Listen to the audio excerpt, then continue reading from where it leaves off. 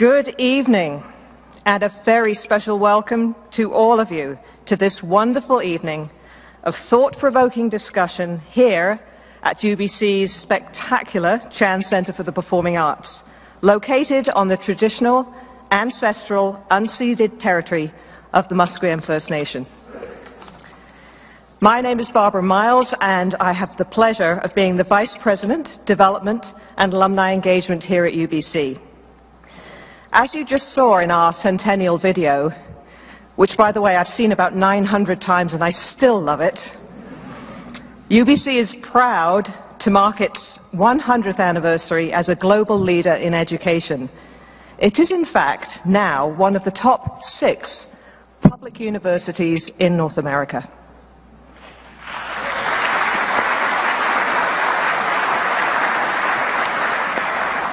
Well, I hope some of you had a chance to attend the UBC 100 What's Next talks this afternoon at our brand new Robert H. Lee Alumni Center. We heard from four prominent alumni. Rick Hanson about the future of accessibility, Tzeporah Berman on the future of the planet, Meeru Dhalwala about the future of food sources, and Elizabeth Croft, an alumna and faculty member, about the future of robotics. I hope you're all now ready for even more stimulation as we continue to peer into the future and see the importance of living a life driven by curiosity. But before we go any further, I would like to acknowledge the estate of Kitty Heller for their generous contribution for making all the talks today possible at UBC 100 What's Next. And also a big thank you to our key sponsors for the day, without whom it could not have happened. And they are our affinity partners, TD Insurance, Meloche Monex, Manulife, and Worldwide Quest. And our media partners, the Georgia Straight, the Tyee, Vancity Buzz, and Glacier Media.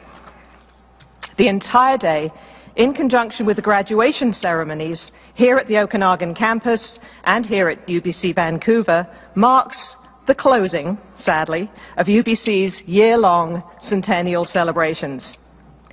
This month specifically marks 100 years since the first class of 40 students became UBC's first alumni on May the 4th, 1916. Over the last century, UBC has graduated more than 307,000 alumni, and I'm proud to introduce one of those alumni tonight. As your moderator for the evening, our illustrious alumna, Fiona Forbes. Fiona is a well-known face in broadcasting here in BC and has always been a strong ambassador for her alma mater. I know she's had many fascinating assignments in her broadcasting career, but I'm willing to bet none quite like the one you're about to witness tonight. Ladies and gentlemen, please welcome UBC alumna Fiona Forbes.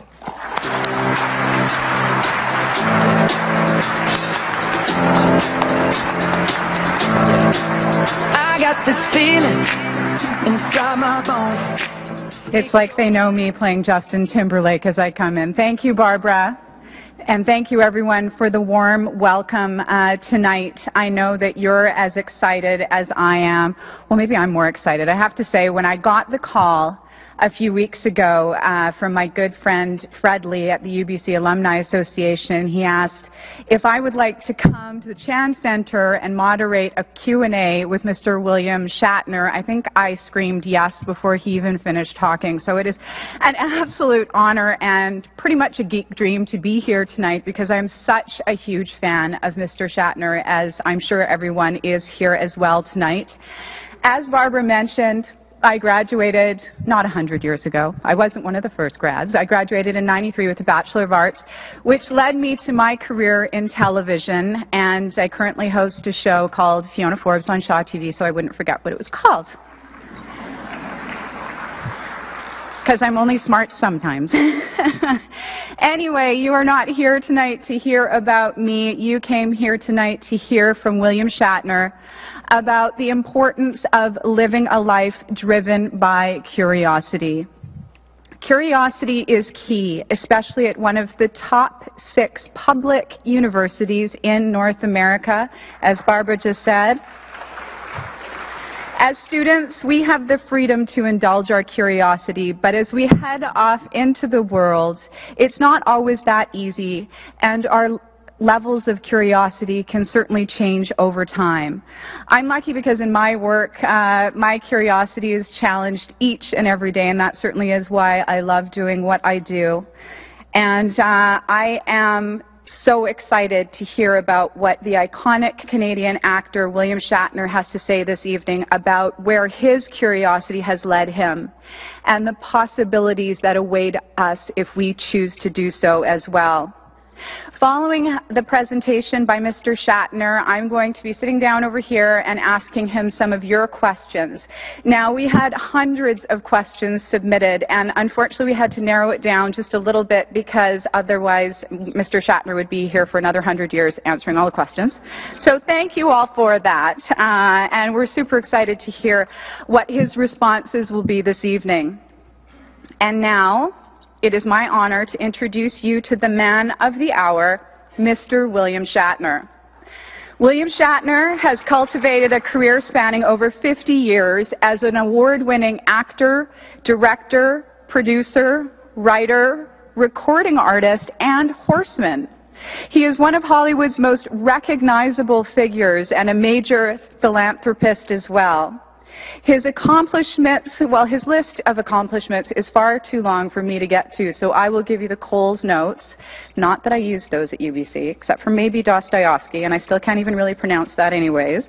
You will know him from such things as T.J. Hooker, Denny Crane on The Practice and Boston Legal, Rescue 911, Shatner's Raw Nerve, which is his own edgy celebrity interview series, his music, and if you haven't heard William Shatner do Iron, Ma- Iron Man by Black Sabbath, you haven't heard anything yet, and that is your homework for this evening, kids.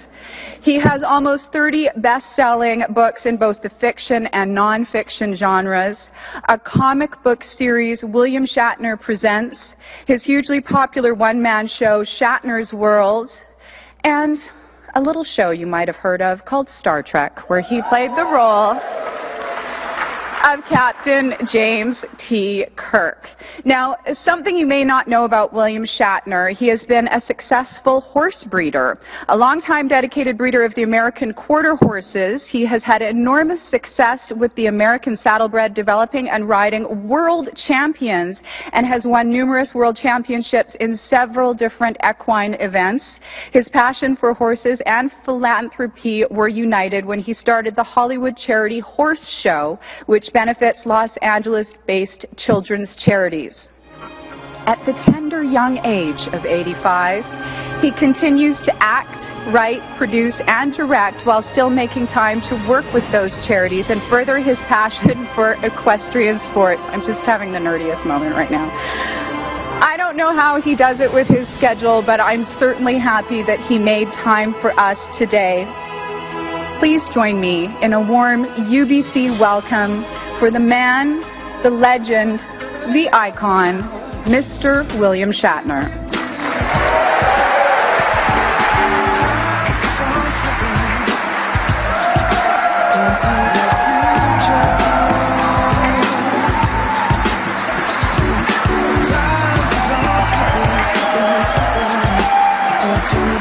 Oh, thank you, thank you, thank you. Goodness me. Thank you.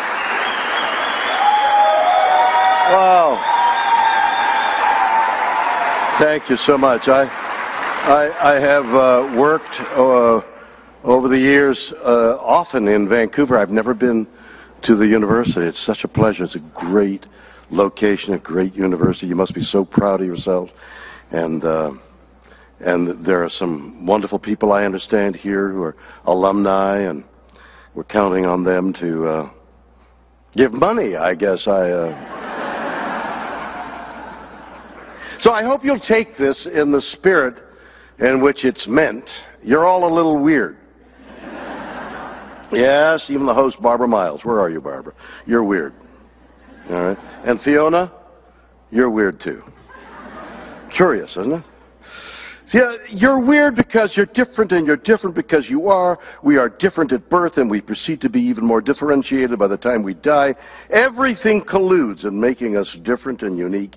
Everything. From the moment you are conceived, to the sounds you hear in uterus, to the pain of delivery, to the music as you are laid upon the cold basket of a weight machine. Everything about nature is designed to make us different, thusly weird. Yeah, we're, we're like the snowflakes. Imagine all those billions of flakes coming down in a snowstorm. They're different. Uh, because each ice crystal forms as it falls through the layers of air. Each layer has a slightly different temperature, a little more or less water available uh, for adding to the crystal structure. Of course, if two snowflakes fell that were different, how would we know? But that's a conversation for another time. I have three children. One is tall as her mother, looks very much like her. One is the combination of my wife's mother and my mother, and the other one looks like my mother somewhat, but, uh, but not quite. She's different too. Their children sprouting the chromosomes of the parentage are just as different. Blonde hair, brown hair, red hair, athletic, intellectual, dazzling array of different characteristics. The obvious ones, the shapes of the nose, the energy level, the interests, they are obvious. You'd point to them and say, that makes the person different. But we are different in so many subtle ways. The arrangement of our brain cells, how you perceive what your senses are telling you, are different for every human being. The neurons, the dendrites, they're just different. That means that every individual will react differently, subtly or grossly, to the same stimuli. Curious, isn't it? For example, I was in a play uh, for television called The Tenth Level, a dramatization of Professor Milgram's famous experiment in which he ostensibly was trying to discover whether pain induced faster learning. But in fact, his experiment was all about how far would an individual go when ordered by an authority figure to cause harm to another human being and maybe even death. So he set up his experiment thusly. In one room, a chair and a machine that sent electrical shocks to a chair in another room that could be seen through a glass panel. These shocks were 20 in number, from mildly irritating uh, uh, uh to, uh, to 20, which was death. Seated in the other room on the electric chair was an individual who was going to learn faster when pain was applied. In the first room with the machine, an authority figure dressed in white with a clipboard gave orders to a volunteer who sat in front of the machine, go to level three, go to level four, etc. In fact, the person in the other room was an actor who would scream in pretense when it supposedly got more and more uncomfortable. The real experiment was with that volunteer. How far would that volunteer go when ordered by an authority figure to press switches that went higher and higher. The dramatization was called the 10th level because after the 10th level, you were purportedly causing extreme pain. So many people went to the 10th level and beyond. In some countries, the percentage was even higher than America. What a fascinating insight into how far people will go beyond their normal state and cause pain, even death, by their actions. Some people didn't go there. See the difference? Some refused to go to that level. But how different are we? Uh, for example, studying identical and fraternal twins allows us to estimate how genes and environment interact to influence character strengths, vulnerabilities, values. In other words, everything that makes us different. There have been studies to show the differences between twins who are uh, various different, in various different development stages, childhood, adolescent, and late adolescence. Nature versus nurture is a phrase that ensconced itself in popular language, and the whole idea came from the infamous Minnesota study of twins, identical twins, separated at birth, adopted by different families. I knew a lady who had given birth to twins, and she loved them very much, but at some point she couldn't afford to, to, uh, to keep them, uh, and so she put them up for adoption. One of them was adopted by a Latino family. They named him Juan. And uh, the other, uh, she was fortunate to find a lovely Muslim family who named their son Amal. And when I met the uh, birth mother, she was so proud of uh, her children. And, and, she said she wanted to show me pictures. And, and so I, I looked at the face of a very handsome young boy and I said, This is a picture of Juan. And where's the picture of your other son? And she said, Once you've seen Juan, you've seen them all.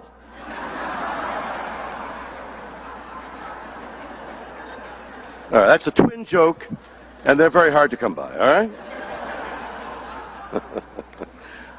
I didn't know whether the audience would laugh. I think, you know, a Canadian audience, you've got to be careful, you know, they're not. How important are genetics in the way a child turns out? Not, not all identical twins are similar in personality and habits. Does it have to be nature or nurture? Can it be both?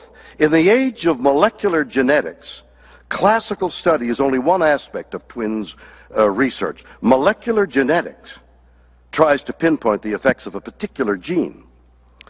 There are disorder-specific vulnerabilities for conduct disorder, alcohol dependence, drug dependence, ADHD. There are genetic factors important there. The CHRM2 gene, already known to be related to sleep and stress, is associated to be known to depression in women, but not men self-esteem, negative emotionality, depression share some common genetic causes.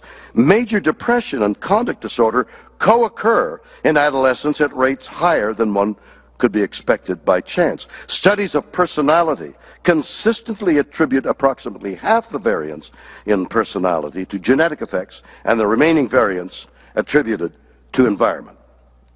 See how many things are genetically or environmentally important. Human variation takes in a wide range of possibilities that could be trivial or important, transient or permanent, voluntary or involuntary, congenital or acquired, genetic or environmental. Listen to all the differences mutations, genetic drift, natural selection, prenatal environment, fetal programming, artificial and cultural selection, nutrition, malnutrition, quality of life and health care, pollution and toxin, education, cultural and social environment, family environment, child abuse, accidental, industrial, or mu mutilation. Our, our, our immune system is built to recognize human differences and enforce individuality. Other differences, darker and lighter skin, thinness, fatness, differences in abilities, uh, like the ability to learn musical aptitude, strength, endurance, agility, resilience. Here are some other differences. Asexual, bisexual, heterosexual, homosexual, pansexual, polysexual, skin or eye coloring, baldness, hirsutism, hirsutism, supernumerary body parts. Try saying that three times. Shortness, dwarfism, gigantism, age, childhood, puberty, menopause. But the big one, the one that is least known, that makes such a difference in us, is gut flora. Sounds like one of those ladies dancing at a strip club in downtown uh, Vancouver. But it ain't. Gut microbiota consists of a complex community of microorganisms that live in the digestive tracts, and the gut microbiome refers to the genomes of the gut microbiota.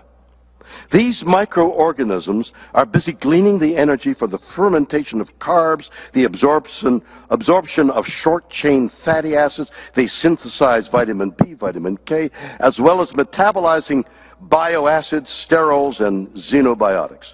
We have a hundred trillion of these microorganisms in our intestines, 10 times the number of human cells in the body. It has led some authorities to liken it as another organ, the forgotten organ. It is estimated that these gut flora have a 100 times as many genes in aggregate as there are in the human genome. Between 300 and 1,000 different species live in the gut. There's a new bacteria that they just found that is kin to blue-green algae. We have bacteria in us that is a close rel relative to a billion year old cyanobacteria which helped raise the atmospheric oxygen in prehistoric years and likely led to early plant cells. We're related to plants. I wonder if we're related to marijuana. Recent years, with advances in geno uh, genomic and uh, clinical studies, have created innovative uh, opportunities to tailor healthcare to each patient. That's the future of medicine. Each patient with their own individual needs, medicines aimed at specific ailments, treatments based on the unique physiology of each person. Not so long ago, I bought a car back east in, in the USA, and my wife and I drove across the country, and we had with us the uh, uh omnipresent, omniscient uh, iPhone. Now, I have seen kids mesmerized at a meal with their little phones, not contributing to the interaction of a family, totally fascinated by whatever it is they're looking at in their phones, and that's terrible. But the miracle in that phone is that it contains whole libraries of knowledge. As we swept across the country, we would ask Siri question after question. What is that? Where are we? The cause of the Civil War. On and on. Questions that would take weeks to look up if you were at a library. So long, in fact, that you would forget the original question. but contained, I want you to feel sorry for you, but contained in the palm of our hand is the total bulk of the Encyclopedia Britannica and the library in London. If we could inculcate curiosity in our students so that when they graduate, they've been tantalized by the prospect of more knowledge in their particular subjects and maybe a myriad of subjects, they could reference back to the library contained in that little phone. In your own little hand, your own library. Talk about the future of education. All right, what is the future of education? Very much like the future of medicine, tailored to the individual. Some of the answers are right here at UBC. Our current higher educational system is set up for an earlier time when people went through 12 years of school and if they were lucky, four years of university. Students learned what their teachers and professors decided they needed to learn. Then people took a job and most of the time they did it for the rest of their life. And this assembly line model of education doesn't fit with individual differences, individual choice, and how people's lives work now. For me, going to McGill, generalized education didn't work at all. I skipped class. I hardly knew the inside of the classrooms. I didn't know what they were like. I didn't know what color the classrooms were. But I knew what the inside of the little broom closet-like room uh, was like. It, it, it housed the people connected to the red, white, and blue, the college musical. And that's where my interest lay. Not the accounting courses my business degree required. So I toiled Many hours working on writing, directing, acting on the musicals there, stage plays, radio plays. I barely graduated with a Bachelor of Commerce degree. But my real education, my real talents, lay in the fields where I spent most of my time. All right, all of my time. But coming out of college, I was equipped to get a, an acting job. Amen to that. Students will have more input on what they want to learn, when they want to learn, and how they want to learn it. We can expect to see more interdisciplinary and less discipline-specific programs. We will see that shorter periods of education will be mixed with shorter periods of work, and, they, and this will have many important benefits. There'll be a close link of theory to practice. It will lessen the accumulation of debt. It will be easier to be flexible as interests change because the student won't be locked into a four-year degree. The pattern can be continued through life as circumstances change. It will put, more emphasis on certificates, boot camps, and intensive experiences than on degrees. The individual learning plan, where students and supportive adults chart their progress towards their goals and determine what resources and tools they need to be prepared for a successful life after graduation. Student-directed seminars slash courses third and fourth year students can coordinate two seminars or courses in which they develop a course proposal, identify a faculty sponsor, take the lead in coordinating a student-directed peer learning experience driven by their personal interest personalized assessment options. Students choose how they will be assessed for 40% of their grade. Students work in small teams and can choose community or, or project-based learning or make a documentary, video. Combine bachelor's degrees with masters of management.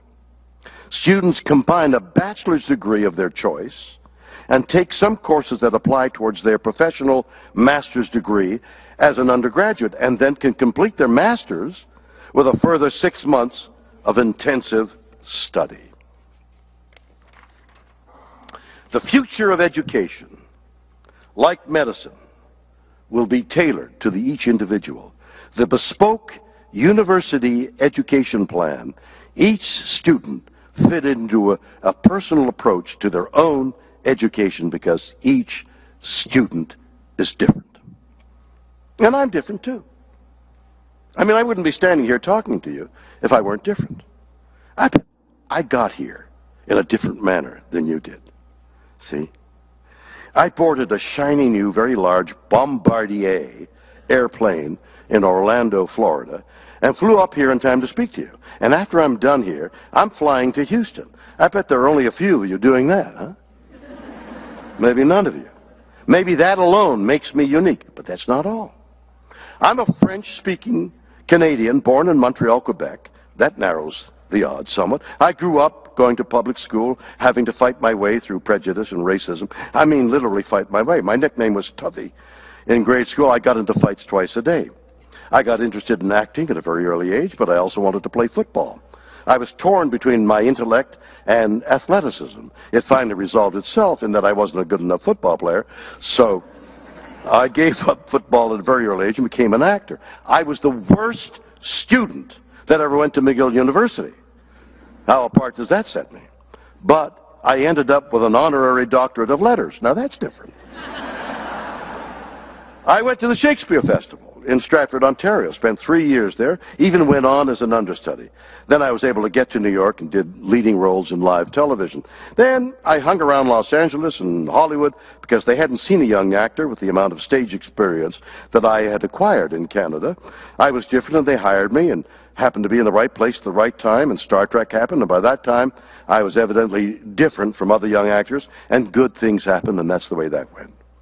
Due to what I was as an individual, allowed me to gain some success in the entertainment industry. American Wrench and I designed a motorcycle, and I decided I would drive it from Chicago to Los Angeles, about 2,400 miles. I was curious about what that would be like. I didn't fully comprehend the enormity of what I let myself in for. But that eight-day trip shooting a documentary that I call The Ride, raising funds for the American Legion for their scholarship fund, and trying to promote the bike all at the same time while driving 12 hours a day on a motorcycle. Now that sounds pretty different, doesn't it? And by the way, the daily ride of 12 hours with trucks coming at you and cars passing you so that you felt your life jeopardized honed my sensitivity to the world around me. The more I thought I was going to die, the more aware I became of the beauty of life around me, the smell of the air, the thrum of the wind, the sound of the motor, and life that flowed by on both sides. It was a life-changing experience and unique to me. We're also spiritually different. We believe different things. People like Donald Trump believe one thing, most of us believe another.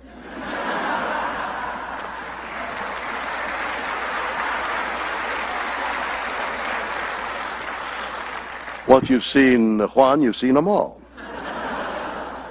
For me, my spiritual turning point came at 17,000 feet in the Himalayas. I was there shooting some film at the foothill of Mount Everest, at the spiritual confluence of several mountains, a holy site according to Buddhism, and where you would gain spiritual knowledge, enlightenment. And I took that very seriously. So instead of going uh, in, into the bare bones building where we were housed, I took my sleeping bag and slept outside in the below freezing weather. The stillness, was palpable. Not a sound from anything living. There were no birds, no animals, no motors, no engines, no telephones, just the mountains towering above me, and the stars, and the constant wind. I'm ready now, I thought. I'm ready to be fulfilled and gain spiritual equanimity that I could never find. So I waited and was receptive. Seven days, seven nights. Nothing. No golden glow in the pit of my stomach. No holy buzz deep inside my head. Just the wind and the cold. On the seventh day, I gathered up my sleeping bag at dawn, preparing now to hike back down to civilization, and suddenly the moment of illumination occurred. To achieve spiritual illumination, you don't need to be in the confluence of holy mountains. You don't need to suffer physical deprivation. You don't need to be miserable. You don't need drugs. The spirituality can come at any time, at any moment, anywhere. It can be in the middle of the ocean or on top of a skyscraper, anywhere, any place. You leave yourself open to the idea that enlightenment is a series of steps you have to be constantly sensitive to the world around you, the flow of ideas, and the creativity inside of you. A sense of awe you need, of how curious nature is, how different. Focusing on a grain of sand is just as useful as focusing on a holy relic. It's all inside your head. Does that make me different?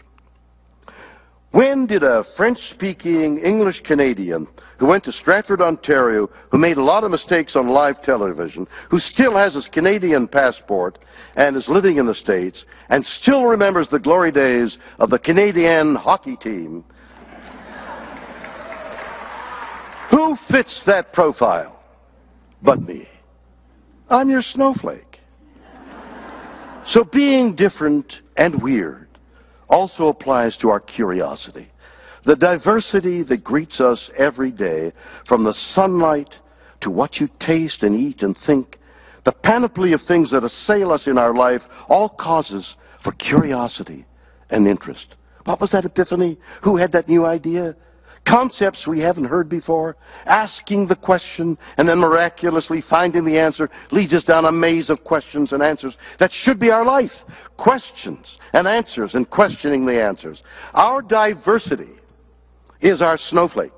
And millions and millions of diverse flakes fall, rise up, and fall again. And a giant snowbank with mystery and opportunity. That's our humanity. The individuality of that frozen water is akin to the uniqueness of every individual. We should honor it, appreciate it, and then find kinship with the rest of those weird and wonderful flakes. Thank you very much.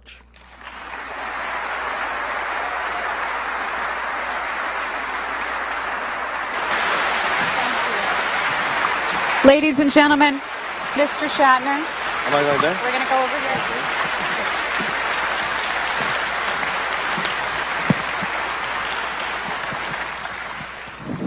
Well, thank you, Mr. Shatner, for that wonderful talk, and thank you for being our little Canadian snowflake. I'm a little snowflake. And of course, uh, we had hundreds of questions submitted. Hundreds? Hundreds and hundreds. I've got three answers. yes, no, and maybe. Is this on? Am I? Uh, are you hearing We're on. Yeah? Can you hear him, everybody? Okay. Okay, so why do you think it's so important to be curious? Well, I'm curious to why I'm coughing. Um, uh, we're born uh, with curiosity. We emerge uh, stumbling out of the uh, womb and uh, and we're immediately grasping as soon as the eyes open and we're looking and we're feeling and the world around us we're trying to read through our senses that slowly come alive and then we make tools to explore even further and I was in the uh, uh, lunar module uh, before it went to the moon and uh, it was the most complex tool uh, that man has ever invented, apparently. And I was inside it. And then we went to the moon. Why? Because we were curious. And now, space invites us And the question always is, why should we go there? And the answer is because we're curious. Very nice. Okay. Now you talked about the iPhone in your talk and the great things about it. The fact that we have all of this at our fingertips is absolutely incredible. But one of our questions is, in your opinion, does the internet make us more or less curious? And how will it, the internet, uh, shape future generations? I don't know. Good answer.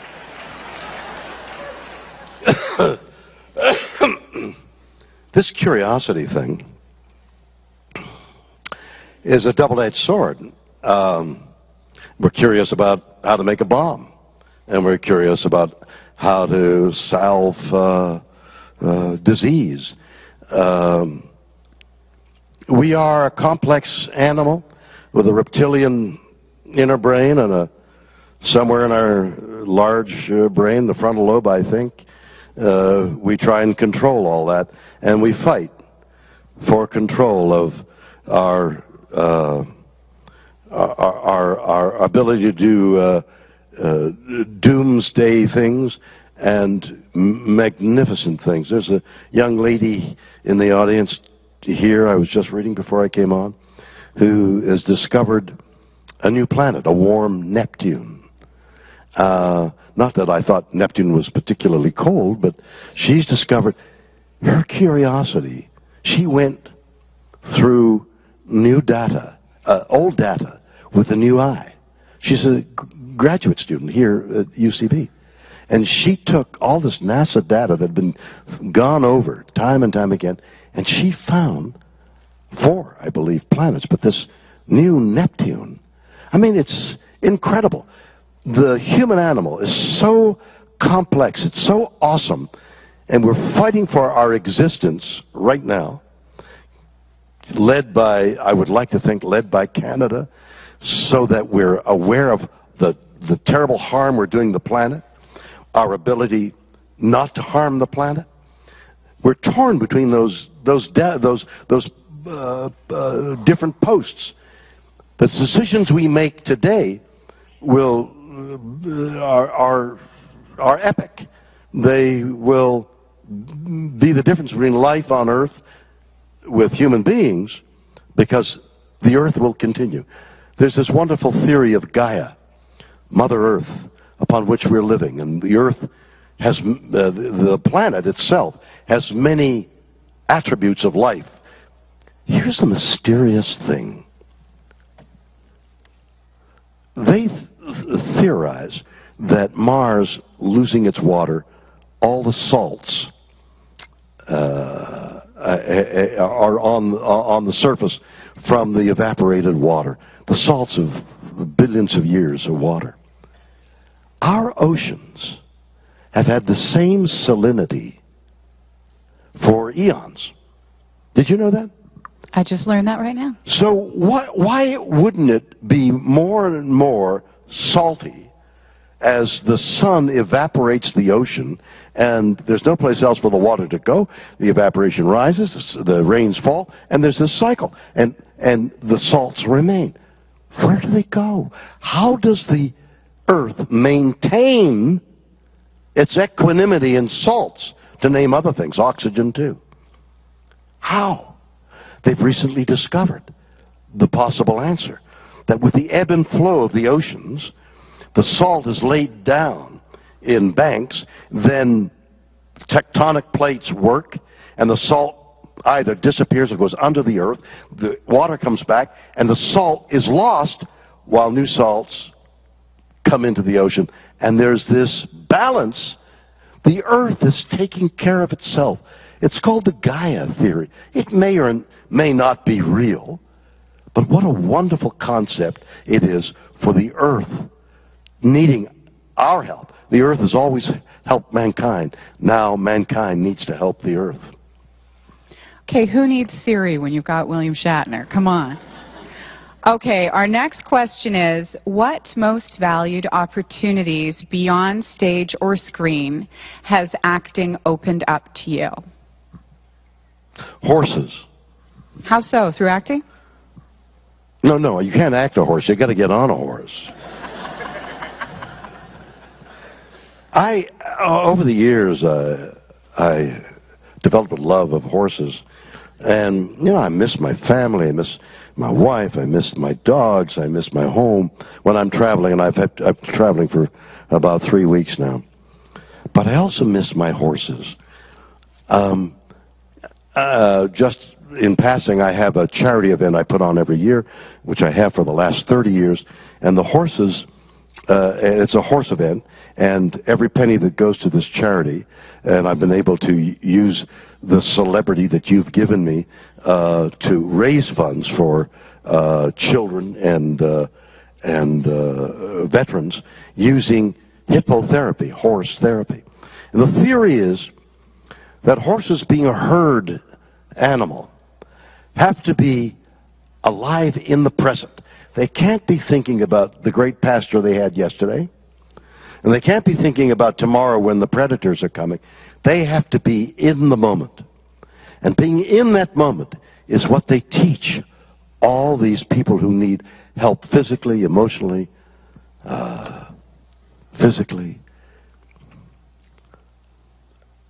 Horses are extraordinary animals, and I've gotten to have, I feel, I've gotten to have a spiritual connection with animals. We're all electrical beings giving off electrical vibrations, if you will. And I'm fascinated by the fact that a telephone uh, post sending off millions of signals every day. Every so often our phone rings, and it's from the it's found us. It's, it's vibrating on, our, uh, on that frequency.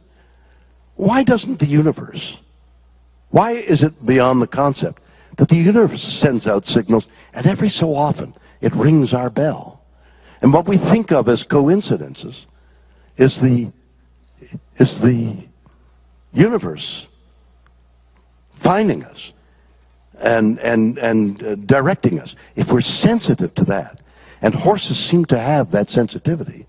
If we're sensitive to those directions, whether they come from the universe or come from inside ourselves, whatever fits your fancy, if we're sensitive to that, we become so much aware, and then I'm back to the curiosity. The questions then, although not answered, the questions become more profound. What is, aside from horses, the craziest adventure or opportunity you're glad you took up or wish you hadn't, and why?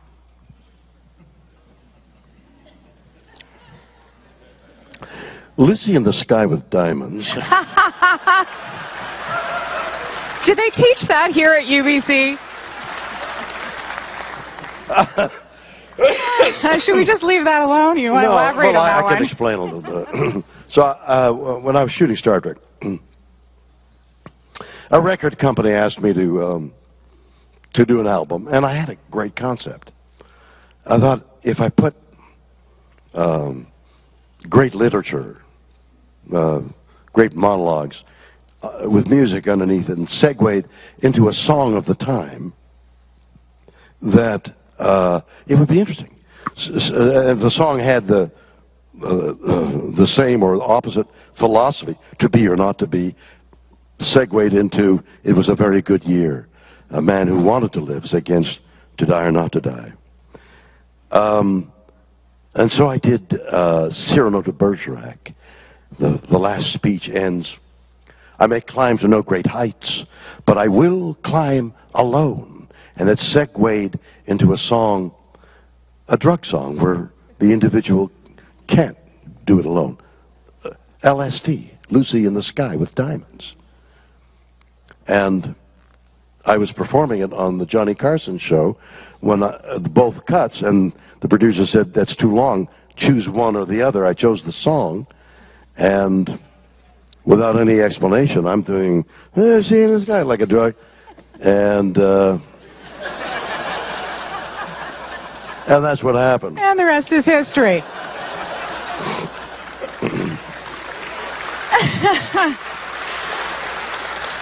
okay.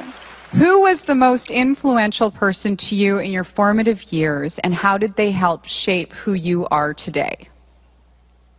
You know, I've often thought about that, about heroes and, and mentors, and and I've come to the conclusion I had none of those. I never got any help from, you know, I mean, uh, my parents, but they didn't help. I mean, they gave me birth and gave me an education and loved me. But, I mean, like, here's a hand, son, and, and here's uh, an opportunity. None of that ever happened. I struggled uh, through university and, and, and found uh, I was able to work in summer theater and at Stratford for three or four years, three years. And then I got to New York and, uh, and it was by doing things, by performing. But nobody substantial ever said, uh, you're young and, and, uh, and you've got promise and here's something you should. I never got a hand up. It was always me struggling to do it. It's been a long, uh, slow ride. I've often looked at these young actors who get on a television show and they become overnight successes and wow, that, that was great. But even prior to Star Trek, uh, which you could say was the thing that brought me to the public's attention, even prior to uh, Star Trek, I was starring in movies and starring in Broadway, and I was making a career, uh, so I don't know where it would have gone. God bless Star Trek, but um, eh, maybe that's the one thing I could point to as the helping hand, but but even that I had to work for.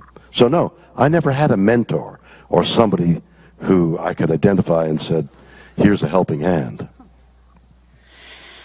You were talking about uh, acting at Stratford, and, and obviously you've been an actor for a very long time. Who do you consider to be one of our greatest living actors, male or female, in the world today?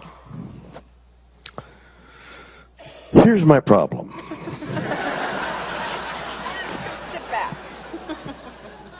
uh, my problem is, I don't go to movies, I watch them at home. I get from, I'm a member of the uh, Academy, the Film Academy, so I get these discs. And I've got a wonderful projection thing at home, and so I play the movies at home when I get around to it. I don't watch hourly television. I watch movies on television, sports, news. I'm a newsaholic. So I don't know anybody. Are you still a Habs fan? Yes. Where are they now? it's a good question. Are the playoffs they're no, still they're on? nowhere, right? uh, ever since uh, Maurice Richard retired, I. Um, so I, I don't know people. I mean, I, I, I see some movies and I think they're brilliant. You know, uh, then I forget the name of them and I, I feel stupid. You know the one with the where the birds flew and the guy was on the back of the bird. And, um, Never ending story? Was that a bird? I don't know. so I don't know anybody that you could say this is a great actor, although they abound and they're wonderful. There's some wonderful talents out there now, and wonderful directorial talents. And I don't know anybody's name. And, and I'm somewhat embarrassed, but not really. Not really. All right, we know you guys want some Star Trek questions, right? This is a good one, actually. Star Trek writers and producers were early pioneers in the movie industry in pushing the boundaries to uncover social and moral issues during its time, such as gender equality, human and alien rights, and discrimination. At the time, did you recognize how Star Trek was pushing all of those boundaries? No, the only thing Star Trek did for me was push my buttons. I'm trying to be funny, and that wasn't really funny, you notice. Uh, uh, yeah, now it is. yes, uh, I was a, a fan of uh, science fiction uh, before doing Star Trek. You know, science fiction is a really. Uh, I, I, I, wrote a book uh, called Get a Life about who, you know, who, who, comes to the, these um, uh, these conventions and who subscribes. well, you can laugh, but there have been some interesting. I- In doing due diligence for the book, I, I talked to a lot of people. I did a lot of uh, research. I, I mean, I, I talked to a young man who's um, who was shy to the point of being uh, uh, uh, crazy. I mean, he was pathological, a pathological shyness. He couldn't talk. He couldn't. Don't even look at me. But when he had his cat dressed up as the captain, Was the cat or was he dressed as the captain? no. When he had the cat dressed up in the little yellow shirt and the thing, he was as verbal and as voluble as anybody. I talked to a lady who had multiple personalities, all of them Star Trek. Uh, the voices she she even had my voice. I thought she did a terrible imitation uh, of it. So that was the explanation of of what I uh, arrived at at the book. That they came to see each other, talk to each other. People found a, a, a mutuality uh, of their love for Star Trek, and they would come to these conventions. I then did a documentary on it, called it the same thing, Get a Life, where I delved more deeply into it. Somehow I, I lapsed into the ability to be more curious and have the opportunity to find more people. And I discovered an answer to science fiction that really appeals to me. And, and, and I, I bring that to your question now, uh, the, an, the answer to your question, which is science fiction is mythological. It seeks to explain the inexplicable. What's that UFO? You know, is, that, is that thing flying around? Has it got little green men in it? Well, apparently it hasn't. But the whole idea of time travel and and warm Neptune, who's swimming in warm Neptune? Or apparently Neptune, warm Neptune has a moon. And maybe there's life there and it's only 2300 light years away, so it would only take us at the speed of light 2300 years. Can you imagine making a voyage that would take you, if you could go at the speed of light, 2,300 years, when we can't even remember what our direction is after four years of, uh, of policies. You know, we forget everything. I mean, a hundred years ago, we don't remember what the direction of Canada was supposed to be. We were supposed to be the the nation for wildlife. We were going to save the world. We were going to uh, the salmon were going to be healthy and the and the land and and, and we're mining oil from the sands and and uh, uh, ruining Alberta. Alberta's burning up. Have they put the fire out yet? Have they? No, seriously. They have put it out? Okay. God almighty. So, how can you expect to remember where you were going for 2,300 years? Oh, we're going to that small planet around the warm Neptune. But it's the speed of light. And why do you slow down at the speed of light?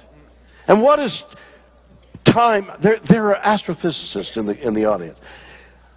What is time space continuum?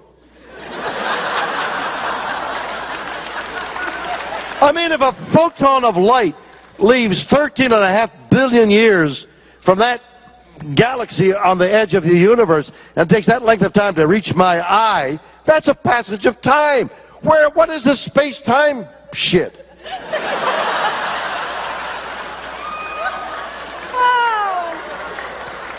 I'm also a Luddite. Well, if anybody knows the answer to that question in 140 characters, please tweet, tweet it to Right. at William Shatner.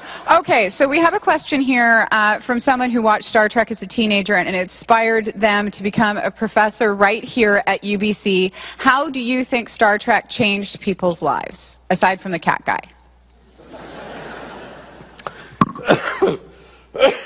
so I had an idea to do a documentary. in which I thought I would examine all the actors who played captains of the starship. And I needed to interview them, and they were all uh, spotted across the world. I needed an airplane.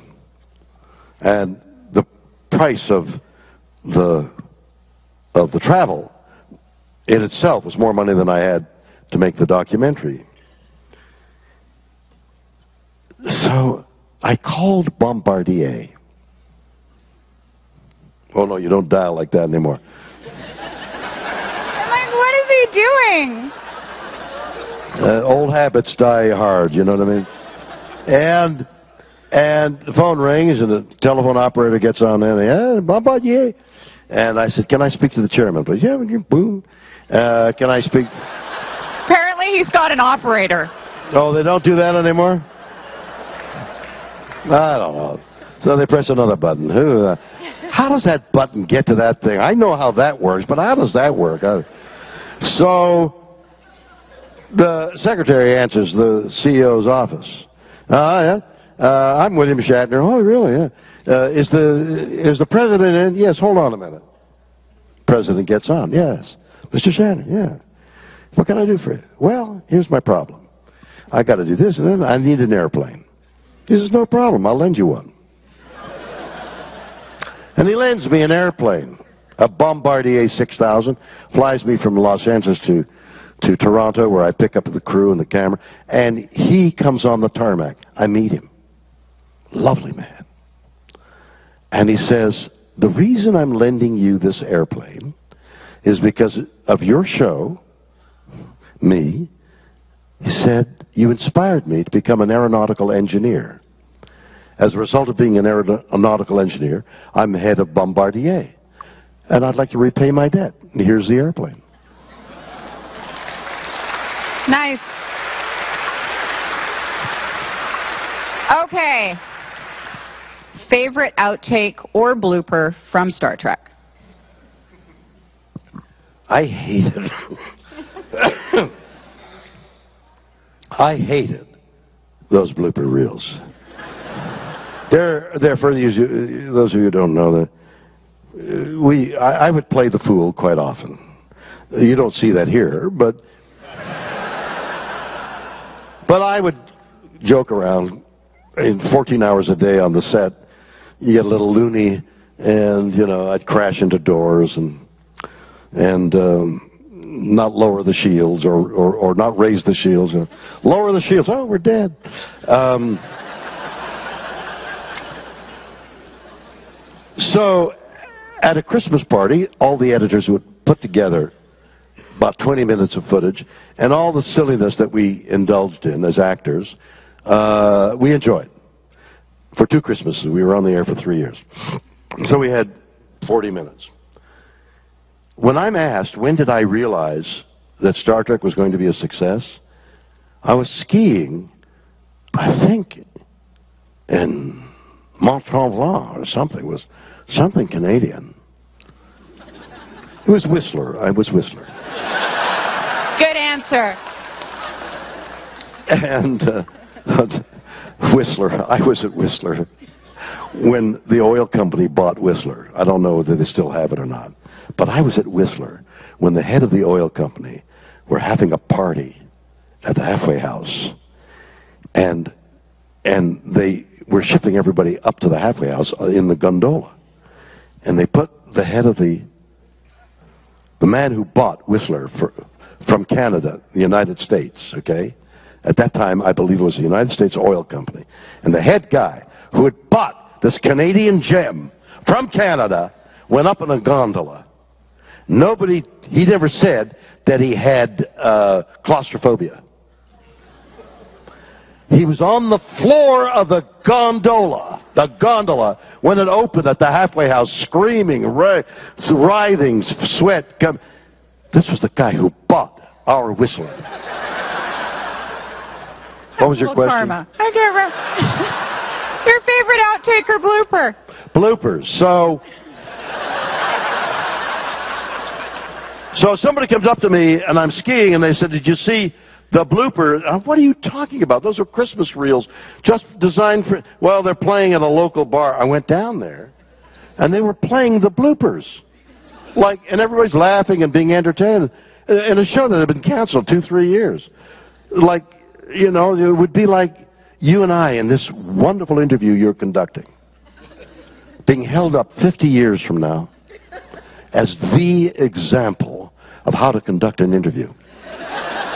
That's how outlandish it was to me. If I were That smarter, I'd 50 be years offended. later, we would be talking about Star Trek. That's, Good Lord. good Lord, he won't help. Okay, a little bit more of a serious question. You recently published a book about your 50-year friendship with Leonard Nimoy. Yes. What is, I'm sure this is hard to pinpoint, what is your favorite memory of the late and great Leonard Nimoy? My book, Leonard, which is out there now, is about our friendship.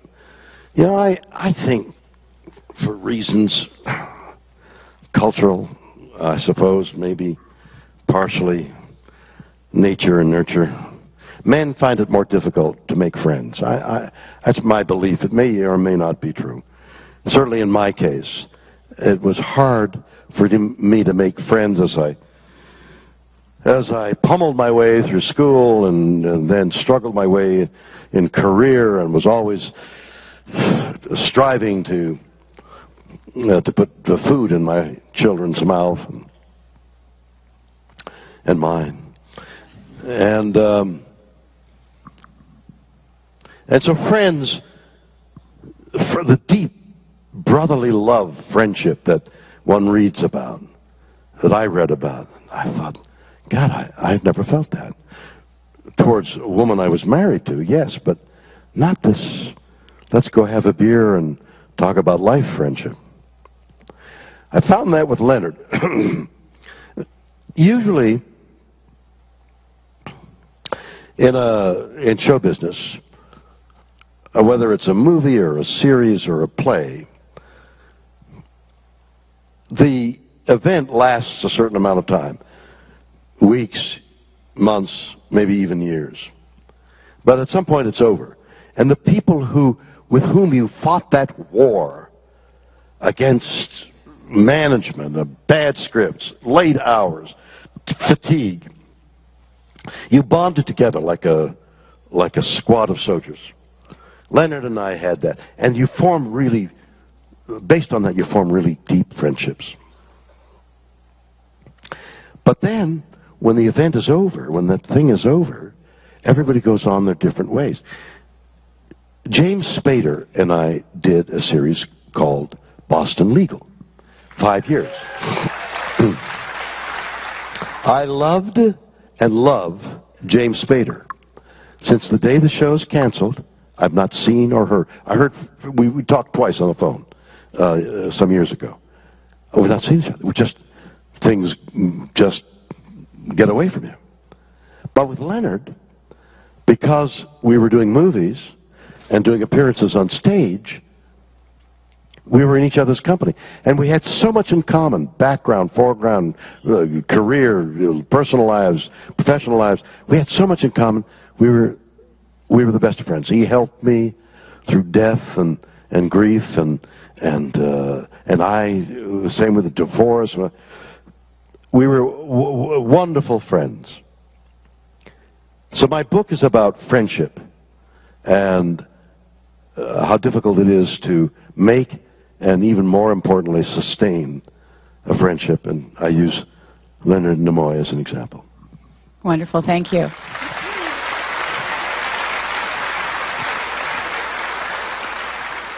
Do you still consider yourself Canadian? You mentioned uh, having a Canadian passport still, but would you ever move back here, do you think?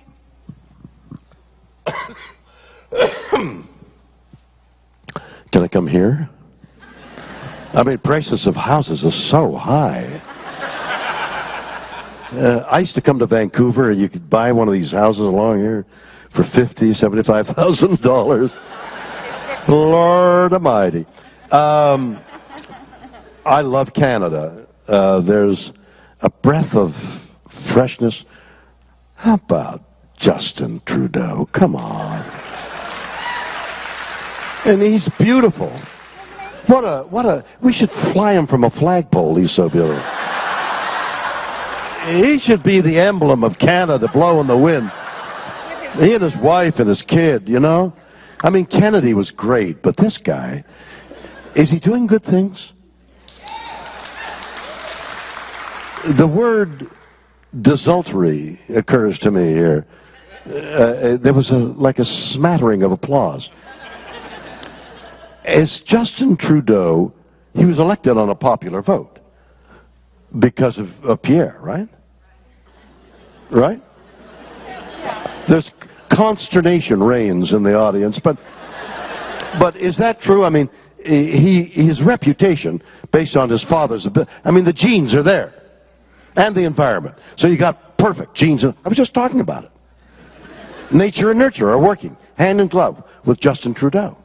He should be one of the great leaders of Canada. You're silent there.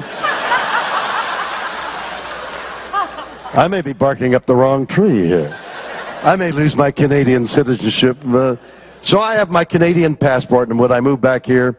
Absolutely. If they kick me out of the United States. Okay, of your successful six-decade career, is there a performance or favorite role that has stood out to you beyond all others? Well, I, I mostly do moments like, did I hit the moment? Um, uh, but I'm doing a one-man show. I did it on Broadway. I've been touring on it.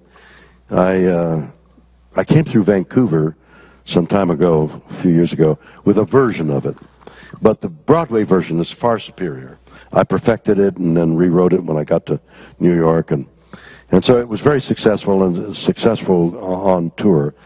It's a personal show, talk about things, not unlike what we're doing here. Uh, I do it alone, of course. I, unfortunately, you're not with me. You play your cards right. I, and I can get on that bombardier. You can get on that bombardier.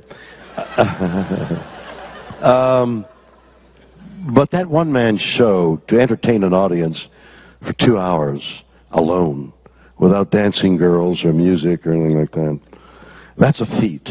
That's like the high jump of uh, entertainment. And so when I do it, it's such a personal thing, and and the moment I come out and the affection from the audience, and when I leave, more importantly, there's still that affection. I, um, I think perhaps that may be at least one of the highlights of my professional life.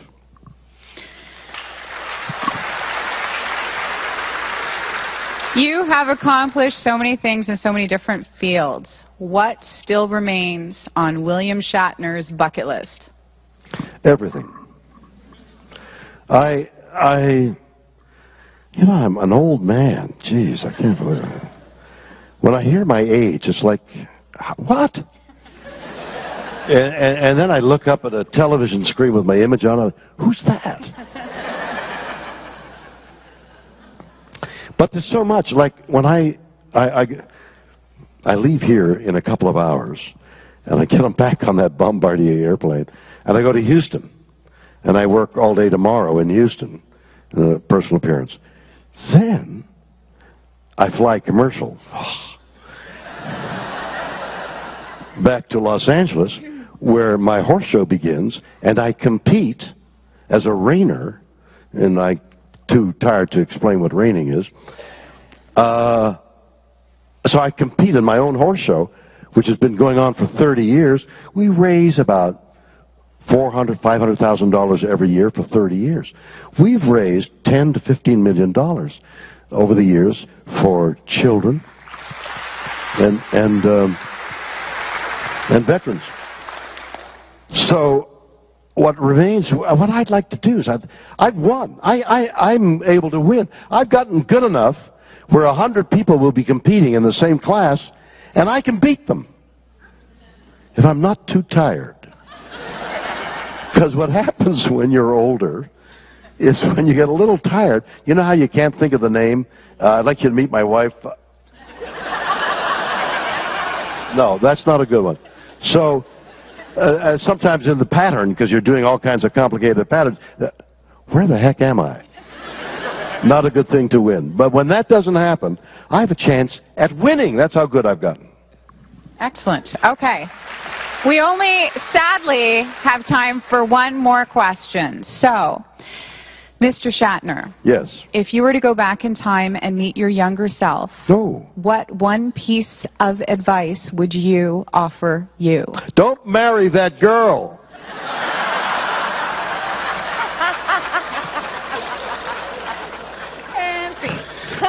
Listen, I am so blessed being here tonight in front of you, healthy except for the remnants of a slight cold, but it, you know how when when when it just catches in your throat and you can't get rid of it.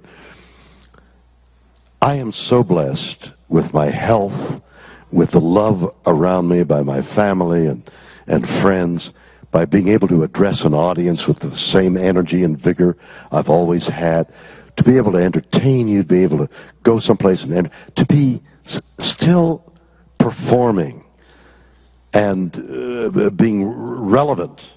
And although that is the operator thing, I did, I did, I did just come back from Italy, and I'm sure they do that in Italy. But I feel so blessed that to think that I would change anything that preceded this, to this is the apotheosis of my life, and I'm so glad to be here and to and to be with you, and I wouldn't change a thing. Thank you so much. Ladies and gentlemen, Mr. William Shatner. Thank you. You can find tonight's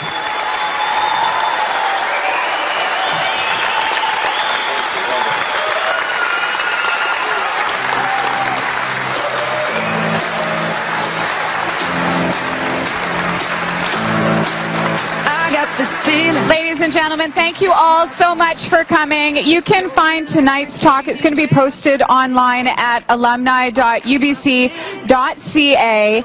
And good night, everyone. Live long and prosper. I got that sunshine in my pocket, got that good soul